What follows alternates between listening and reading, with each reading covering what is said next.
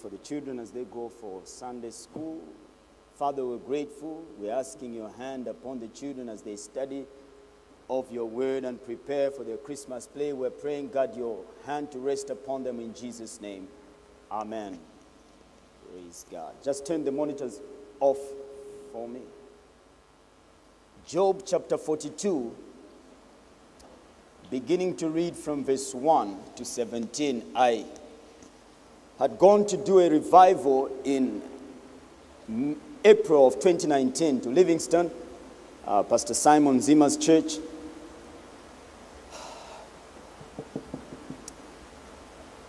In that revival, God really helped us, and must have been the third or second night. Uh, area churches came, and uh, the pastor from uh, brought some people. There was a lady in that service that came up for prayer, and she, and so I'm asking, say, what's the need? She whispers into my ear. She says, Pastor Simon, uh, my husband and I were believing God for a child, and so uh, many years, uh, many years had gone, and they were believing God for the fruit of the womb. And so we prayed. I called for the husband to come to the front, I prayed for them, believed God. Uh, so the revival ended. I told them to go do what uh, husband and wife do, especially if you are believing God for a child.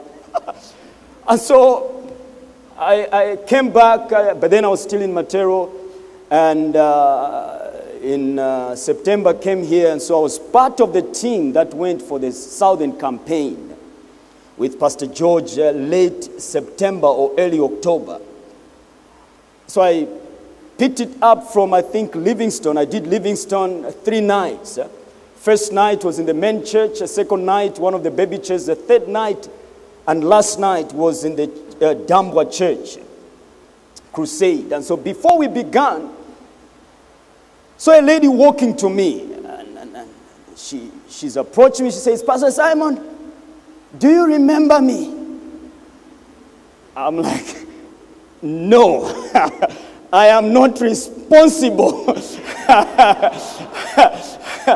I love my wife. I am not responsible. And she says, Do you remember me? I said, No, I don't remember you. Says, Five months ago, you came to Livingstone Main Church, prayed for me. I was believing God for a child, and you laid your hands on us. You prayed for us. And I don't need to do any further explanation eh, of, uh, uh, uh, she was pregnant. And so I, I, I, I, really believed God. I prayed for them. And they called me when uh, she finally delivered a baby boy. And so she called me. She uh, was able to thank me. I said that to say this tonight. We serve a God of a turnaround. I'm pausing for effect. No matter the story, no matter the duration, no matter the condition, the God we serve tonight is a God of a turnaround.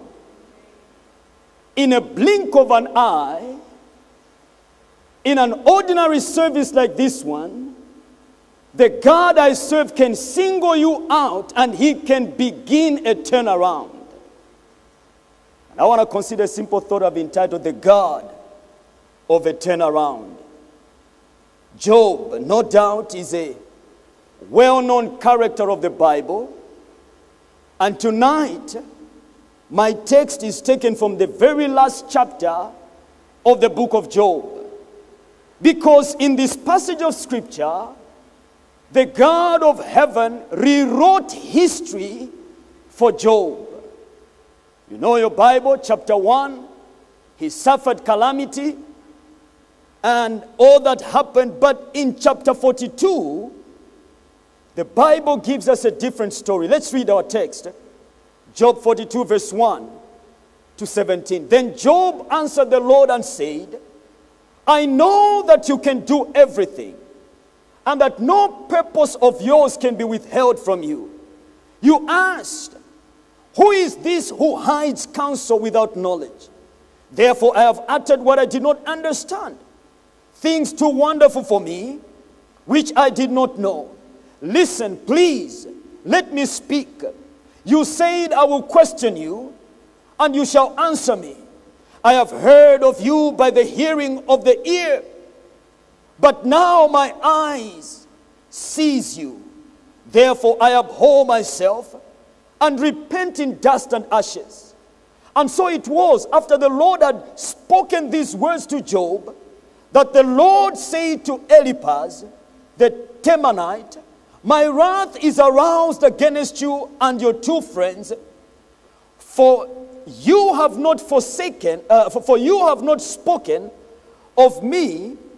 Uh, uh, uh, uh I'm, take, I'm getting ahead of myself here. For you have not spoken of me what is right, as my servant Job has. And offer up for yourselves a burnt offering, and my servant Job shall pray for you. For I will accept him lest I deal with you according to your folly, because you have not spoken of me what is right, as my servant Job has. So Eliphaz the Temanite, and Bildad the uh, uh, Shuhite, and Zophar the Naamathite went and did as the Lord had commanded them, for the Lord uh, uh, uh, had accepted Job. And the Lord restored Job's losses. Can somebody say amen? The Lord restored Job's losses when he prayed for his friends. Indeed, the Lord gave Job twice as much as he had before. Then all his brothers, all his sisters, and all those who had been his acquaintances before came to him and ate food. Let's continue. Verse 12 of our text. Uh, just uh, bear with me tonight. I did not copy the whole of uh, my text, man, uh, verse 42, uh, chapter 42, sorry, and verse 12.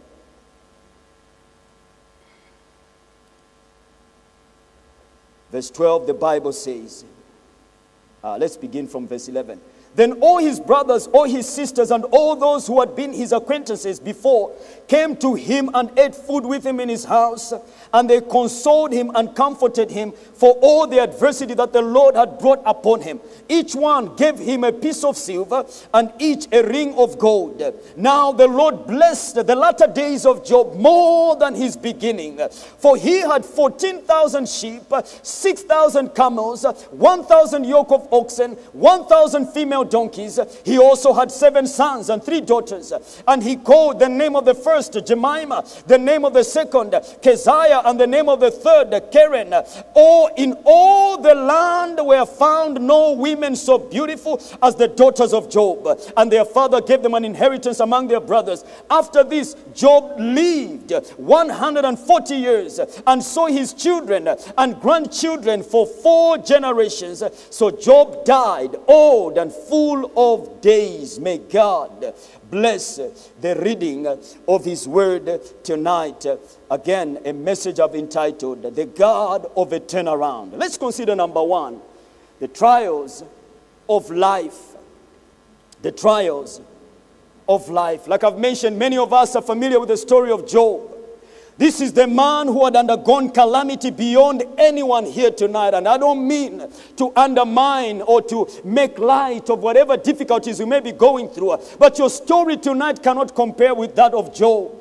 But we have to realize here tonight that up until the point of chapter 1 of Job's book, Job was the big man of the city. Job was the big bwana of the city. Job was the respected man in the land. His life was an enviable a uh, life uh, by many around him. Listen to the story or to the uh, uh, uh, uh, uh amount of riches that this man had. The Bible says he was rich in 7,000 sheep, 300 camels, 500 uh, teams of oxen, 500 donkeys. He owned land and had many servants. This actually laid to God to even publicly begin to boast of him in chapter 1 and verse 1 of Job. The Bible says he feared feared and shunned evil. What a testimony that God would speak of a man or a woman tonight that you are a fearful man that fears and you shun evil. Job chapter 1, verse 6, the Bible says, Now there was a day when the sons of God came to present themselves before the Lord,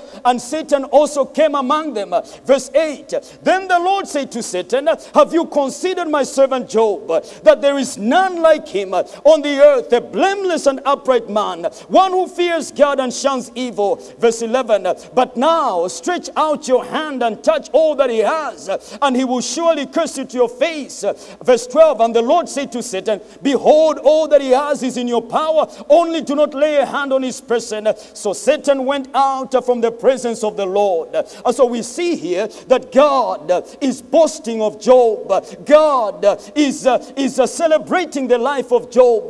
God is, uh, is tossing A job uh, to be the trophy that he has, uh, so to speak. Uh, and he boasts to the devil, he says, Have you considered, have you seen my servant? He's a righteous man, he's an upright individual. He shuns evil, he fears me, he honors me in all that he does. But the problem tonight is many times we are not privy to the boasting of God of our lives. We are not privy. I wonder tonight what God is speaking about my life to the devil. I wonder. And as I was putting this together, I looked back, I said, could it be that that setback I faced, could it be that maybe God was boasting of me to the devil? I mean, I, I just couldn't help but begin to look back and say, listen, that reversal I had, that tough decision I had to make, and I stayed true to God, I stayed committed to my calling. Could it be that God one day was boasting to the devil, Have you seen my son Simon? That he's true, that I've called him. And the devil said, Ah, the reason why he's saving is because you've given him a good job. you are promoting him. He's the envy of his friends at the workplace. You're moving him. Your money is coming his way. And maybe God said, okay, okay, okay, take away his job and you, we see whether or not he will still stand. And thank God for four years, I am still standing. Could it be tonight? I don't know about your story tonight. The challenge is we are not privy to the boasting of God about our lives. If, he, if after he has finished talking to the devil and he comes to me and says, Simon, Simon, listen, listen, my boy, I'm just from having a meeting with the devil. Don't disappoint me. Don't disappoint me. Huh? Matoni ah, Don't disappoint me. This is what I've said to the devil. Oh, okay, okay, God, no problem, no problem. When is he coming? No, it will come on such and such a day. This is what, no problem. But the challenge is we are not privy to the boasting of God about our lives. And so when things are happening and when things are unfolding, we look left, we look right, and we begin to point fingers, we begin to accuse people, we begin to rebuke and bind, we begin to, we begin to be embittered, we begin to frustrate things, we begin to frustrate people, we begin to injure the very people that may even be of help to us.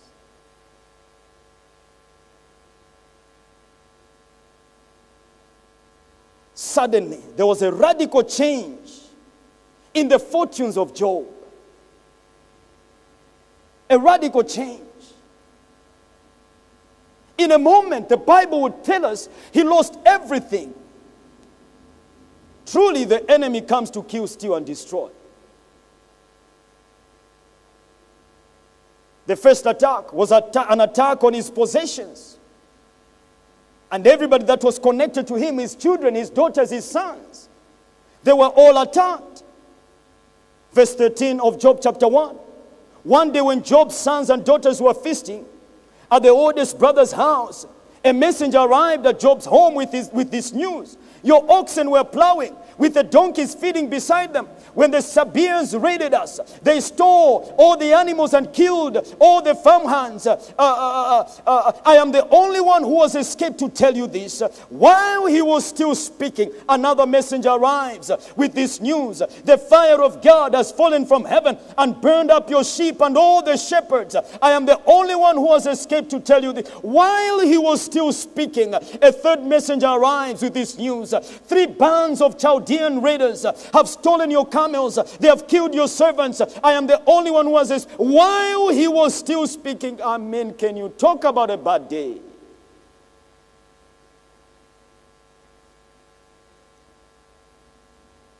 Another messenger arrived with this, with this news your sons and your daughters were feasting in their oldest brother's house.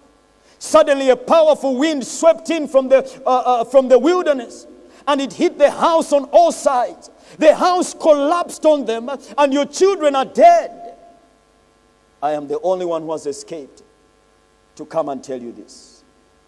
Job's response the Bible says he arose, he tore his robe. In the Old Testament culture, this was one way of expressing sorrow, just like in our times. Uh, in times of sorrow, people would wear black to show that they are mourning. And so here is Job. He rips his, uh, he rips his robe. He's, uh, he's in sorrow. Uh, the second thing he did is he shaved his head. This was also part of showing sorrow. A beard in the Old Testament symbolized maturity and dignity. And so by shaving his beard, it, it signified a humility and a great loss. And number three, he fell to the ground and worshiped him. Who does that? After having suffered loss, the Bible says he falls to the ground and he begins to lift up his eyes towards heaven. He begins to worship God.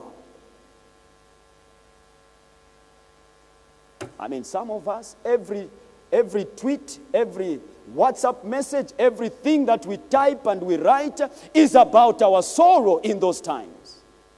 But the Bible says Job he falls to the ground. He begins to worship God. He begins to lift up his voice towards heaven. He begins to adore God. He begins to exalt the name of our Lord in total surrender to God's sovereign will concerning his life and concerning his situation. Job chapter 1, verse 22. Powerful words are contained here. It says, In all of this, Job did not sin nor charge God with wrong. How many believers are caught in that uh, uh, web tonight, uh, that when calamity befalls them, uh, that when misfortune happens to them, uh, they point the finger to God. They point the finger to Almighty God. They begin to blame God. You saved me. I'm a, I'm a Christian. And how is it that this has befallen me? We complain towards God. But the Bible here tells us that in all of this, Job never charged it against God.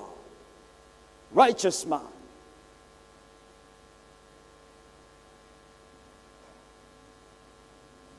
Let's look secondly at the attack on his health. The attack on Job's health.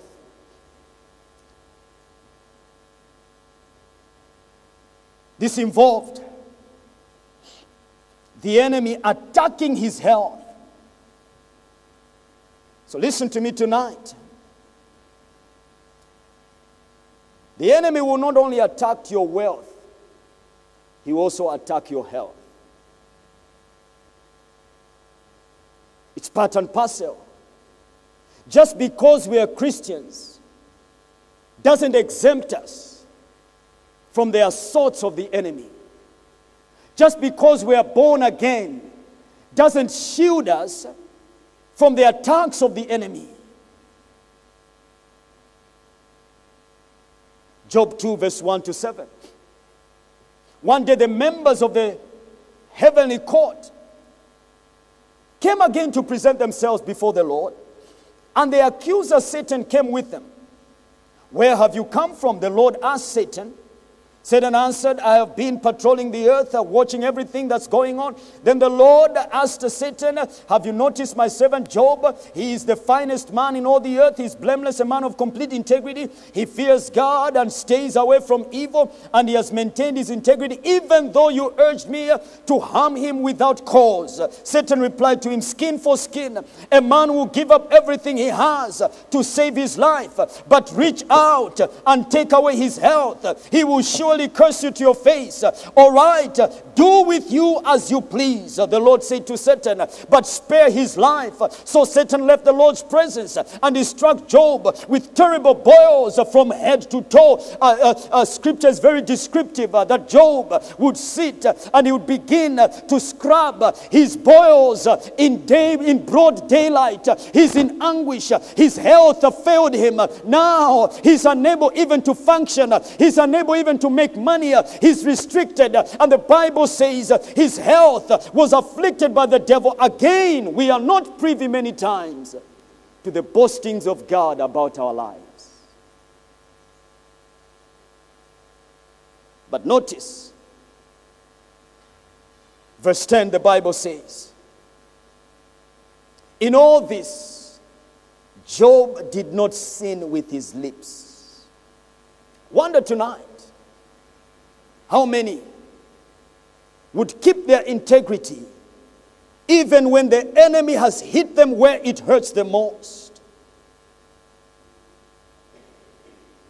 And so we see here one of the great challenges of life of a believer is to reconcile the realities of life to your faith. What you believe, what you confess, what you be, what, what, what you give to, and beginning now to reconcile that life with the reality of what you are living. That becomes a big challenge to many believers. To make sense or understand between what we are going through and what God has revealed in His Word. He says this, but I'm experiencing complete opposites. It's a big challenge to understand our revelation of God, His nature and His will. He's a loving God, He's a healer, He's a provider. Uh, and so to reconcile that to what we are going through becomes a big challenge. Our understanding and expectations from God compared to the life we're actually having to live. Many times there's a difference between the life we desire and the life we're experiencing. Proverbs 2, 12, verse 25 says, Worry weighs a person down. 2 Corinthians 1, verse 6. Even when we are weighed down with troubles, troubles weigh people down. They are a weight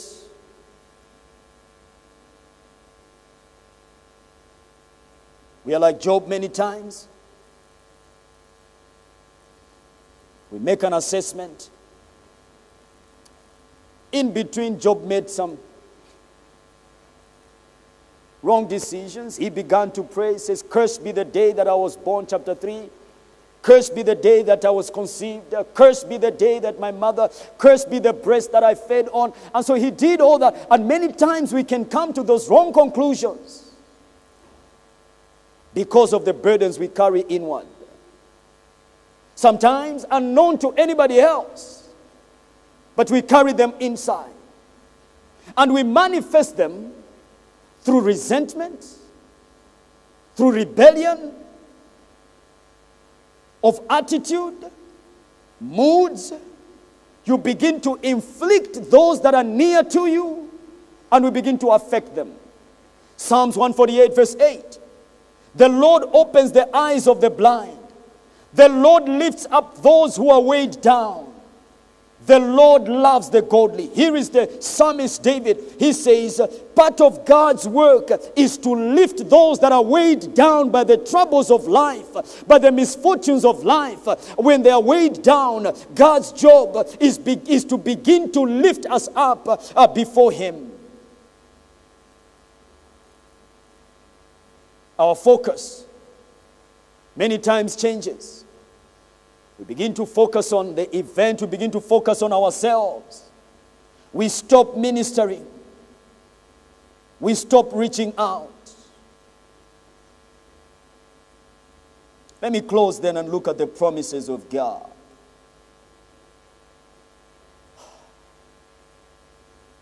Our Lord Jesus, throughout the Gospels and throughout the Bible, He does not promise the perfect life. But what He does promise is we can have a blessed life that has the hope and assurance of a future in Him. As we go through the seasons of our lives, He promises we can have a hope and a future. In Luke chapter 4, beginning from verse 1, Jesus, He gives us a catalog of His ministry, the mission of His ministry. It lists in there that how Jesus Christ of Nazareth was, was anointed to heal the brokenhearted, to set at liberty those who are oppressed. And so he begins to list his mission. Why? Because it's, he, he understands that I have not come to give people a perfect life, but I have come to give them a hope of a blessed future, a hope of a life that can be in line with God. In our text, Job has a turnaround in his circumstances. This means God will move or cause us to begin to change on all sides of our lives. God will reverse the irreversible concerning you and I. That which you have lost, and that which is gone, we think is gone, God is capable of bringing it back tonight. When God turns to you, it is your turn. Your story will change from good to better, from better to best. Why? Because the God we serve is a God of a turnaround. I'm not here to promise you when, but listen to me tonight. When God uh, begins to move upon our lives, like He moved on the life of Job, there was a turnaround of events for his life.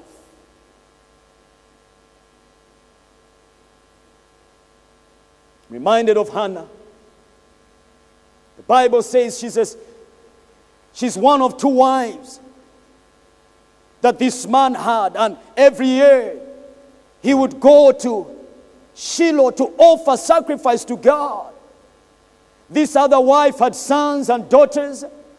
But Hannah was barren. The Bible says Hannah, God withheld the children from Hannah. He closed the womb of Hannah. And every year after year, she would go to Shiloh, to the mountain, until one year she determined that, listen, I will knock on heaven's door like never before. The Bible says she's in the temple. She's crying of anguish before God. She's pouring her heart before God. She says, Lord, I have suffered shame. I have suffered from this woman, my competitor. She She's boastful uh, over uh, her children and everything that is happening. Oh God, if you would, by your grace, open my womb. She's praying, not audibly. The Bible says she's opening her mouth and no voice is being heard. I mean, there are some prayers like that tonight that you don't need your neighbor to hear you, but heaven should hear you.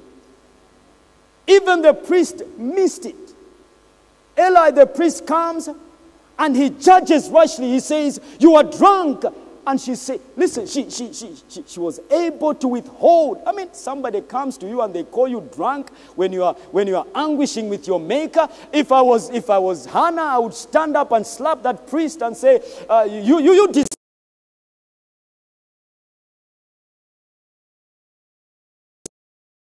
She says, Oh no, my Lord, it is actually out of the anguish of my heart. I am pouring my heart before God, the maker of heaven and earth, the one who I know is able to open my. And the Bible says that very year, Hannah conceived. The following uh, uh, two, three years down the line, she brings Samuel, one of the best prophets of the Old Testament. She brings Samuel and she dedicates him to the house of God. Why? Because the God of a turnaround visited Hannah tonight It's the same God that I'm talking about. He visits Job in his anguish, and there was a turnaround of events in the life of Job. And so let's consider as I bring this to a close the trigger to that turnaround. Number one, there was a repentance on the side of Job. Verse 6 of Job chapter 42. Therefore, I abhor myself and repent in dust and ashes. Here is Job. He understood that, yes, the bigger picture, yes, God has taken the glory, God. But listen, things have happened in my heart. My heart has been bruised. My heart has been wounded. I have said things I shouldn't have said. I have marked people I shouldn't have marked. I have distanced myself from certain people. And God, uh, Job says, listen, I will repent. I will turn away from that. And the Bible says he repents of his sins. He turns away. And that was a turning point for the God of a turnaround to begin to look back on Job. He turned away. We have to make that point as well. Choosing to let go of every pain, choosing to let go of every disappointment, choosing to let go of the frustrations of life, and we begin to minister again. Yes, the hurt is real. Yes, the pain is real. But repentance is we choose to let go of the pain and we look together. The second thing that Job did was it was a change of focus. There was a shift in the mind of Job from himself to others. Verse 8. Now, therefore, take for yourselves seven bulls and seven rams. Go to my, to my servant Job and offer up for yourselves a burnt offering. And my servant Job shall pray for you for I will accept him. So here is God. He gives instruction to the three friends of Job that listen, uh, you have sinned. I want you to go to Job because his heart has turned away. He has repented, and I want him to have a shift of focus from looking inward. How many know during the struggles of life we can be so concerned about ourselves? We can be so inward focused, looking just at ourselves. And God here challenges Job. He says, Listen, I want you to pray for your friends. Offer a sacrifice on behalf of your friends. I know you are the injured one. I know you are the one who is who has suffered loss. I know you are the one who is frustrated. I know you are the one who has experienced a reversal in life. But I want you to shift your focus from yourself to other people. You offer a sacrifice on behalf of your friends and see what will happen for you, Job. So I ask you tonight can God count on you? Even during your season of loss, your season of frustrations, can God bring people to you to minister to them?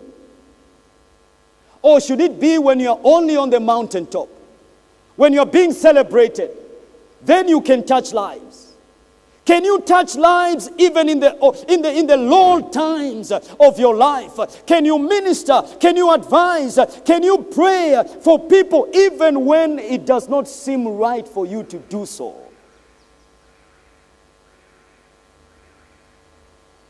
We heard this morning in our adult Bible study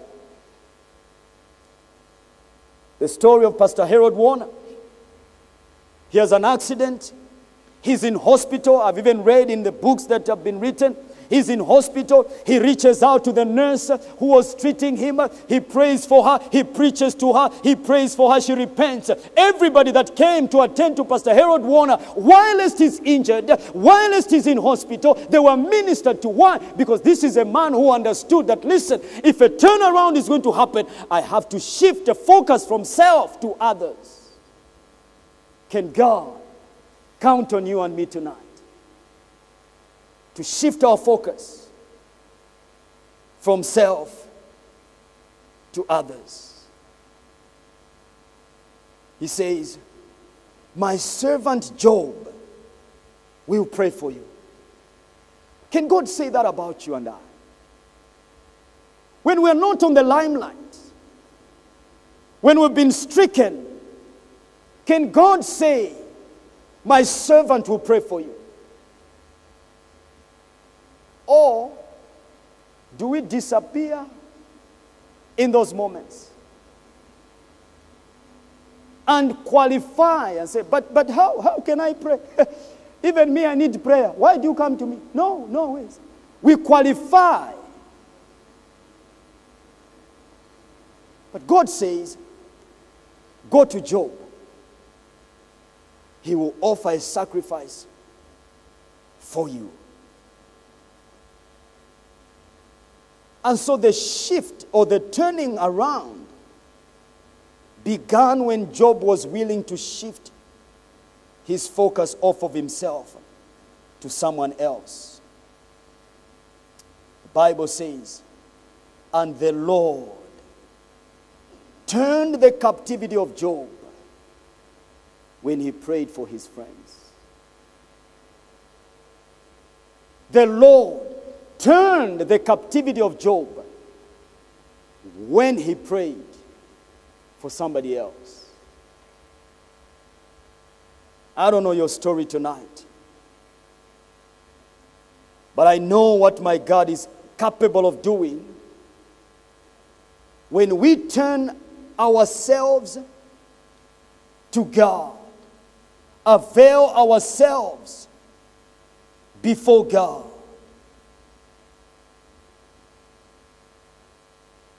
The Bible says, verse 10 And the Lord restored Job's losses when he prayed for his friends. There's a connection. Indeed, the Lord gave Job twice as much as he had before.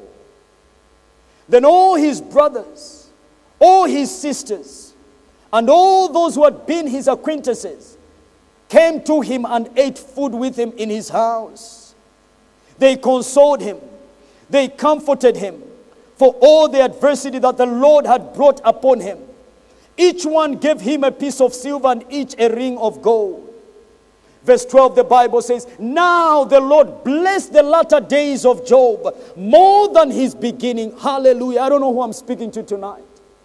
The God we serve. As you look back, you may yearn for the former years, but God is saying He's going to bless your latter days than your earlier days, the Bible declares. He did it for Job. He begins to account here for he had 14,000 sheep, double the sheep he had before the calamity. He had 6,000 camels, double the camels that he had before the calamity. 1,000 yoke of oxen, double that. 1,000 female donkeys, double that. He also had seven sons and three daughters. And the Bible would go on to record that the daughters of Job were the most beautiful daughters in the land. That's what God can do. He's a God of a turnaround. He's a God of a turnaround. I want you to bow your head tonight.